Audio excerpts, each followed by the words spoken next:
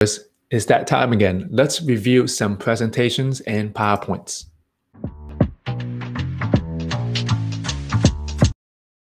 Okay, for this very first one, I am going to review this uh, software. It's called Prezi. I'm not sure if you used it before. They have a, a Prezi award. This is from 2019. The one in 2020 did not come out yet, but um, Prezi is a presentation software like PowerPoint, like Canva, where you can create presentations. But they give a 2019 Prezi Award, and I wanted to go over one of the presentations that I thought was uh, really fantastic. So let's dive into it. And as you can see, what I like about this website already is uh, look at this look at this banana cursor that they have okay? So i'm going to talk about the the dawn of captivating presentations. I mean we're talking about presentations and we're talking about presentations on top of that. So some things that I will be uh, reviewing on is the design element of it, the audience experience. When I say the audience experience, how easy is it for you to understand the message, right? The language that's used and more as I go through this. So if you have not used Prezi before, Prezi is a presentation software and they have a specific style of the slides. I'm just going to flip through some of the slides if you are not aware of Prezi. So you see how it goes in and out just like that. That is a style that Prezi has. It's really, really captivating. So as you can see, what I like about this uh, first slide already. So let me maximize this. What I like about this first slide already, it's it's hard. This is original artwork in in story as you can see down here the artwork you can see is captivating already right the the text the dawn of captivating presentations it seems like we're going to go into uh, like a netflix movie a story we're going to start reading a book so of course most of us business professionals. We don't have all the time in the world to create original work, nor are we going to hire someone. But of course, if we had someone on the team, maybe that's possible. But again, they stepped up the game already by providing original artwork. Uh, what I like about this is that you can see really quickly this is about captivating presentations, right? The dawn of captivating presentations. This just makes it more story like. So as I flip through the next one, as I flip as I flip through the next one, you can see it, the original artwork is continuous throughout the slide. As you can see on the top right, when an idea is born, a new hope is arises, and then there's a text.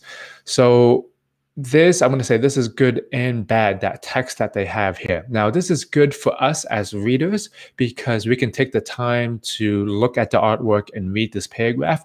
But if I was presenting this live to you right now, let's say, let's say I'm presenting this live to you right now, right? I can say, good morning, everyone. Today we'll be talking about the dawn of captivating presentations. And what you have to know is that when an idea is born, new hope arises. Now, you see my the next thing that I'll be talking about, either I talk or I read that short paragraph that they have. The downside is if I talk, right? You might be wondering, hmm, I want to read that text that's on there. And if I read that text that's on there, I'm just reading that text that's on there. So when when this is a presentation that is giving live, I would just say you can just pop on when an idea is born, a new hope arises, and then eliminate that paragraph text. You can pop it on later after you went through it. But if you have that all on the same time, I'm going to say people can't focus on oh should i listen to you should i should i should i read the text unless you're reading the text directly you can uh, you can also have bullet points but again this is great for us right now when we're looking at the presentation afterwards uh, a really good transition. They just move down to the next person, right? This is even this is even better, right? Ideas are fragile, and then you have one sentence, right? Planting them carefully is the key to attracting the, the attention you deserve. Now, audience experience. As I'm judging presentations and PowerPoints, you see that on our side as an audience member. Wow, this is so easy to understand, right? ideas are fragile planting them carefully is the key to attracting that. We, we get that. We don't have to we don't have to work so much to understand what the slide is about. And, and from slide one to slide two, I want to point out something that's really, really critical. There's one idea to one slide. Okay. You'll, pro- you'll probably see that theme throughout. There's one idea to one slide. I'm just going to go through a few more slides and go to the next presentation. Audience are craving exciting presentations. You see how they popped the main idea right up front so you know what to expect. And the numbers are easy to read right? 100 million. They made that they made that big okay? Uh, so these are the numbers that matters. They they made it more popping out right? 100 million presentations are created every, every single day and these are easy easy to comprehend. Now they probably did some work. They probably had maybe a, a, a, paragraph or two, but they probably condensed it down to the sentence. And this is the art of presentation, condensing it down so that it's easy for your audience to understand. Here's the main idea. Here's, here's the main support. And as you can see, the original artwork is, is still here. The theme, the theme is still there. And is very easy to understand, right? 90% of them are boring. In total business, we lose up to 250 million. That's why we want to, we need captivating presentations because of X, Y, and Z. Oh, I clicked on the wrong thing. So I'm gonna, it's just, it should go up like this, right? Uh, what I like about this is now they're introducing, right, the world of press pre pre-senate uh, I, the th- this keeps on going with the theme. As you can see, they're, they're telling more of a story. And this goes into the theme of, right, this tale was born for the one. We know we're getting into a story now. They're introducing a story along with their PowerPoint. So overall, uh, this is why they probably gave them an award, a Prezi Award for 2019. Uh, as you can see, right, follow along. I love this banana. Follow along in this compelling story told of original characters and artwork. So really good. Uh, one idea per slide. The, the, artwork is really captivating. It's really easy for the audience to experience this because it's not so much. Okay. So if you're interested in that, you can just go to prezi.com slash uh, awards. So I hope that you like that one. The next one, the next one, I'm actually going to switch it up on on uh, a presentation that we're going to do. We're going to be talking about the worst slides that people have made. Okay, the worst presentation slides uh, ever. I hope that you can learn a lot from this. If you are the one doing presentation slides like this, well, let's let's fix them now. Okay, so let's dive back into it. And this is from the website eMaze. Okay, six worst presentation slides ever. Man, as you can as, you scroll through this, oh my god, look at this already. So I'm gonna put on this PowerPoint. I'm, I'm also going to be judging this PowerPoint on top of the worst presentation slides. I'm going to react to that too. Um, I'm not sure what this is. The picture, you can see it's pixelated. Of course, I'm not going to get too much into that. They can up. Okay, information overkill. Okay, I'm just gonna let me let me react to this presentation itself. One idea, okay, and it's very easy to understand. One idea, one picture. You, you can see, you don't even need a speaker to explain this. You can just read the text and you can just understand it. How easy was it for me and for you to understand it, right? Maybe less than a second. Information overkill, and you see this picture, information overkill. Now, the thing about this slide is uh, what I like about the slide, actually, there are things I like about the slide. How rivers are formed. I like the title to the slide because it, it, it, prompts us to understand the slide already. This reading this title tells us what the slide is going to be about. You know how sometimes we put in slides and it doesn't it doesn't it doesn't prompt us or engage us. It just says um, maybe it's so dense we don't even know what it means. So sometimes, yes, we can use words like agenda, all of that stuff. But when we put it in a form of a question, your audience is going to be more engaged. The thing about this slide is that the, the, the image on the background, how can you even see the text? How can you even see the text when you can't, you know, it's, it's blended into the background. It's so hard to read. And of course, the amount of information of this is exactly what they're saying information overkill let's go to the next one cheesy images okay low quality and un- uninteresting Uh, I do agree with this to a certain degree. You can use uh, stock images that just don't overdo them. Slide after slide after slide. People will say, hey, that's not original. What you can also do is sometimes if you're talking about a topic, you can also snap a picture of yourself or maybe use a, a, picture of your team. That will be more relevant to your team because they can see themselves in it or they can see something that they know. You know, you can snap a picture of even your water bottle uh, to, to prove a point, right? So use stock images. Uh, it's, it's good to use stock images when it's not too much. Okay. And yes, don't have low quality images. Um, let's go to the next one. Haphazard color scheme.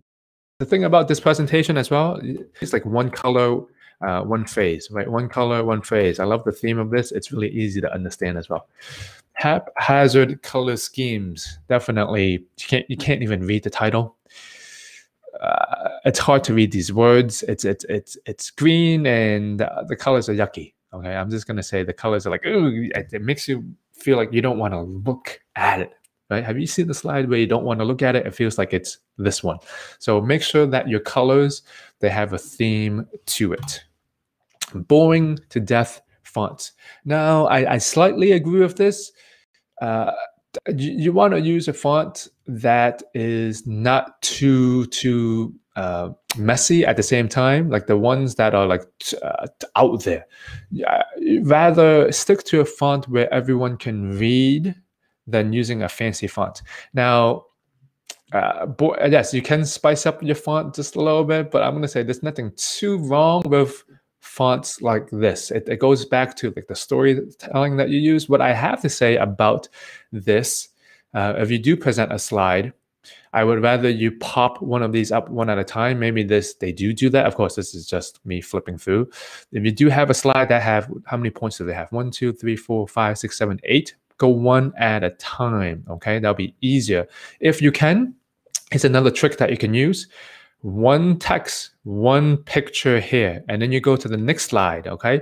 One text, another picture. You can go through eight of them. So instead of having one slide and you spend five minutes on that slide, you can spend maybe 30 seconds and then flipping through each slide. You will engage people a lot more with that.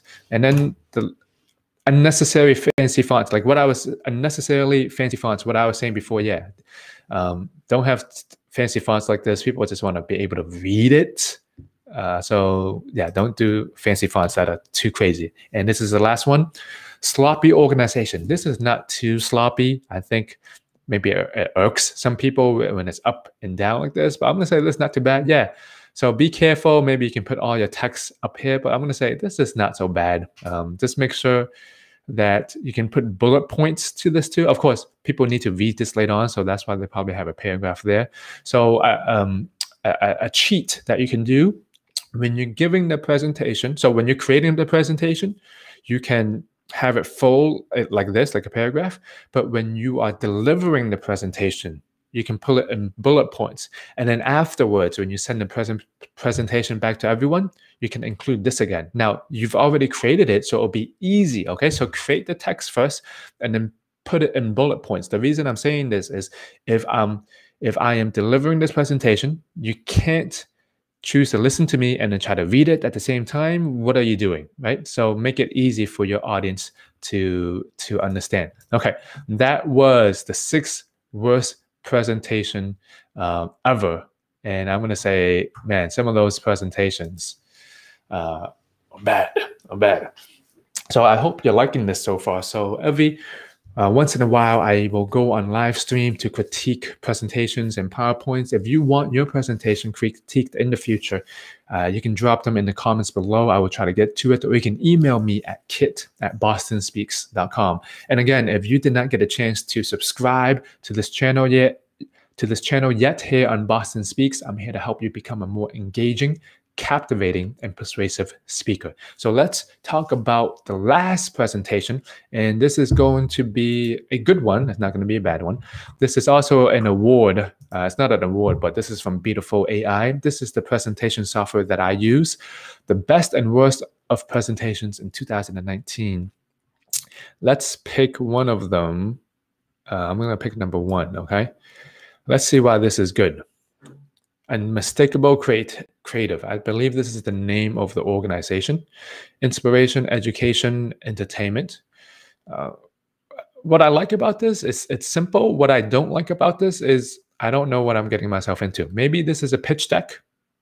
I don't know what I'm getting myself into yet the unmistakable creative. This is uh, short and to the point, right? Inspires people to lead more meaningful lives, educate them with practical insights, entertain them with the process. Maybe they can put an image there. Again, not necessary, but I like how simple it is, right? Like one, two, and three. Uh, this is also good because it pops up big, right? You can just you can see that they have big text and then there's a small icon. Uh, this seems like now it's more like a pitch deck, right? This is why they're so good because they have X, Y, and Z. Okay, what I like about this slide is that you can see again. You remember how I said earlier? Yes, this says revenue. You can also put this in the form of a question, but again, revenue is great. We know what to expect, but to spice things up a question, or you can use the word and add that in there somehow. So this is great because as you can see, the numbers, we just want to look at the numbers. Boom, right? Uh, if you are creating a presentation, you want to highlight the most important thing in the graph, which are the numbers here. You can do something like this. Uh, based, uh, I'm going to talk about this sentence. Based on full ad inventory of two ads per episode at 750 per ad in Q4 2019, 1,000 per ad in Q1 in 2020. Now, when I say that out loud, you probably don't want to hear me say it. You probably maybe again, it's not that technical, but it doesn't it doesn't it's not conversational. So to make this a little bit better, how can you switch up the language here to make it more conversational? Even when I'm reading this now, it takes it takes a little a tiny bit more work to understand this. So how can you make that more conversational? I'm going to do one more slide. What makes unmistakable creative different? What I like about this slide, again, all the, the good slides that we talked about, one idea, one slide, this is great because you just pop on a question and now you want to engage the audience, right? You get them, even if they don't say anything, you get them to think a little bit. So this is just, they, they focus in. Uh, I want to talk about the variety here, right? They, they use, okay, these four images and icons, then they go, went to two graphs and then they pop on a question. The variety of this will keep your audience engaged. So um, it, it's a, it's a simple simple slide deck, but it's going to become very effective depending on how good the presenter can tell stories and give emotions and talk about all of that. Um, that's it for today. I hope that you learned from some of the good presentations and also some of the worst presentation slides ever. And again, my name is Kit Pang. If you had not had a chance to subscribe to this channel, I'm here to help you become a more captivating, engaging, and persuasive speaker. And if you're still watching this right now, I know that improving your presentation and your public speaking skills are important to you. So check out the other videos on this